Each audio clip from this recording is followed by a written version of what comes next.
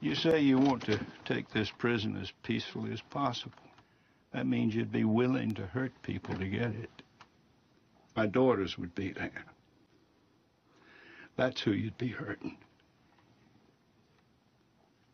If you understand what it's like to have a daughter, then how can you threaten to kill someone else's?